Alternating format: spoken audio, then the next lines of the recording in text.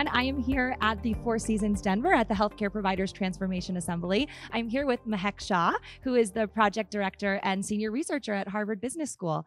So thank you, Mahek, for being here with us. It's a pleasure to be here. You're leading some great sessions in our program, some roundtables and uh, Mhm. exciting stuff. yeah, I'm thrilled.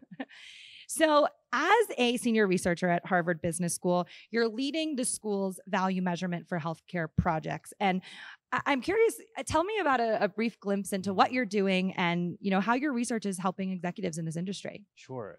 Well, we work with uh, many organizations. Historically, it's been health systems, but increasingly, we're working with corporations and governments and ministries of health around the world to really help them educate them, provide them knowledge on what value based healthcare is, and provide them a glimpse into the toolkit that we prescribe uh, for entering this new world of healthcare delivery, the future of healthcare, and understanding what's needed to, in terms of measurement, in terms of reorganization of their workforce, and where to, to provide them a strategy of how to really be a leader in this in this new wave and all this change, and accomplish that. There's a lot of change going on, so that's very important. um, so, you're teaching and advising these executives at the healthcare system, and you know, teaching how to better understand um, and measure their outcomes and costs. And so, how is delivering more value for the patient really transformed decision making from the provider perspective? Mhm. So I think that when you understand and align value by measurement of outcomes and measurement of costs, and really putting the patient back at the center of care, much like other parts of our economy, uh, healthcare should have the patient at the center, and that's our customer. And when you organize around delivering on the outcomes and being held accountable on those outcomes, you're really aligning providers and how they've been trained and want to practice medicine and deliver healthcare by achieving optimal outcomes at the lowest possible costs. And when you do that, you align the business interests of a health system that needs to meet its goals and objectives, along with the provider's interest of delivering high quality care at the lowest possible cost, so that you can then uh, treat more patients or spend more time with patients. And you improve, by doing those things, you improve the patient experience, patient satisfaction, and even provider satisfaction. So, how are these new technologies that are coming into play, like AI, for instance, how are they creating time to really care and drive optimal outcomes um, for not only patients, but for the providers and the payers as well? Right. I think technology is a wonderful force that's entered healthcare and is drastically changing the way we deliver healthcare, access healthcare information, both on for patients, for providers, and and uh, you know health systems in general. And I think that in order to really optimally use technology, we have to understand where does it fit into an existing workflow, but then optimize and evolve that workflow to really meet the needs of the patients, the providers, and use of that technology. So I think various areas where technology plays high value, in my opinion, is the point of care, at the front end of everything from when you come in to see your physician, um, to have information already, you know, on a dashboard or readily available, to understand your needs as a patient and as a caregiver, um, but then for the provider having that data re- readily accessible. Um, and I think technology is doing that both on the point of care when they're in that sacred relationship between physician and, and patient, and but also on the back end when they're doing whether it's documentation or whether it's uh, you know care coordination, and that's where I think machine learning and tools like AI can really play an important role because it augments the the capabilities of a provider, and there, therefore it augments the delivery of care at a hospital or at a, another facility. Right. So, we'll be seeing how this all plays out. Yes. um, so, is there a specific framework that executives are observing, you know, to restructure their healthcare system? Um, is there a common theme that you're seeing?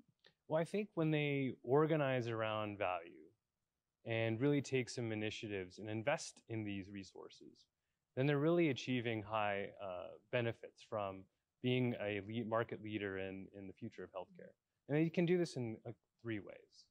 I think they can reorganize around the medical conditions, uh, what we call integrated practice units. Or it's a multidisciplinary team of people that is focused around a particular medical condition. So traditionally, we're, you know, sort of organized around vertical silos. Uh, you know, you've got your department of cardio, cardiology and dermatology and, and so forth. But if we organize around certain conditions that are very commonplace, both on the acute side, but also on chronic care, then you begin to understand that healthcare no longer is an individual sport. You know, the doctor alone can't optimally treat a medical condition, but it's a team-based sport, like football and basketball. And so there are many players involved. And so you need to reorganize your health system around these principles. And when you do that, care coordination increases, uh, workforce morale we've seen increases. People just feel like they're part of the team, and and patients and families see that there's a team involved, and that they feel very satisfied in that experience and that care. The second thing is really focus around measurement, and so measurement of both outcomes, so clinical outcomes, but also patient-reported outcomes. So what what matters to the patient? Um, things like being able to go back to day-to-day activities that they used to do. If they're an athlete, being able to play sports again. It was very, you know, logic, uh, commonplace outcomes. Then, in addition to that, uh, measurement of the costs of care delivery. And and when I say costs, I'm not talking about charges that are based on often a charge master, but it's it's around uh, understanding what does it actually take to deliver care at the medical condition level or at the patient level in order to really uh, optimize that outcome and achieve that, that patient outcome that you want. That makes a lot of sense. Yeah. so, um, this past summer, you recently wrote an article about the appointment of Dr. Atul Gawande, Mhm. who is, you know, the new CEO of this venture um, led by Amazon, JP Morgan, and Berkshire Hathaway. So, I'm curious to hear your thoughts. You know, he's taking back uh, U.S. healthcare, and do you think other executives should be following his example? What are your What are your thoughts on this? Well, I think that you know, with the appointment of Atul, I was very happy to see a physician lead, uh, put in the role. And being based in Boston, being local, uh, I was happy that it's staying. This new co will be based there. And I think that he, you know executives need to not necessarily follow the path of Gawande. I think he has a unique skill set that resonates with both clinical leaders, but also the everyday citizen, um, based on his uh, excellent writing and so forth.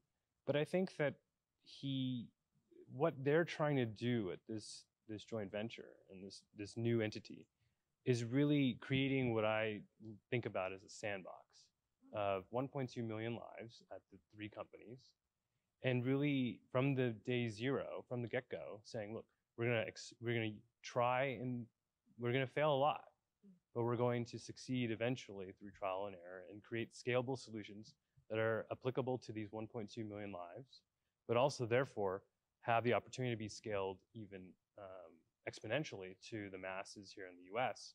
and with a uh, you know sort of an unlimited resource uh, mindset. And it's very unique in this market. You know, most of the time you're constrained by money and by resources.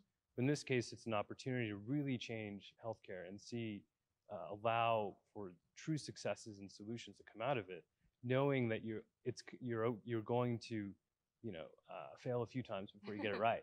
And I think that executives just need to sort of think around uh, being able to make this sort of investment, even in their regional local markets, of technology, of reorganizing around the patient, and really thinking about what value, uh, where does value come from, and how you deliver on it. You'll have to keep us updated on that. I will do my best. well, we're so happy that you're here. You've been leading some great sessions. Um, so tell me, what do you think are the benefits of attending a small, intimate, C level program like the Millennium Alliance is running? Well, I think that the intimate nature of the conference here has allowed people to really engage uh, in, dis- in fruitful discussions that begin to start to build on a relationship or think about ways to collaborate. And I think that you've done it in a couple of ways by making it small and intimate, but at the same time, you've been able to have uh, a lot enough time to where people can really have discussions in between sessions of, of learning, but also during uh, you know the, the keynotes and so forth, to where uh, people really feel like they're getting a lot of value out of it. There's so many conferences every week. You could practically go to three, uh, you know, on the same day in different parts of the country. But I think that you know people are becoming more selective and should be selective about where they attend. And I think that you know getting a lot of return on your investment is important. And I think that the Millennium Conference allows that. Wow, Well, great. Well, thank you so much. My and uh, we'll talk to you soon. All right, sounds good. Thanks. Thanks for having me.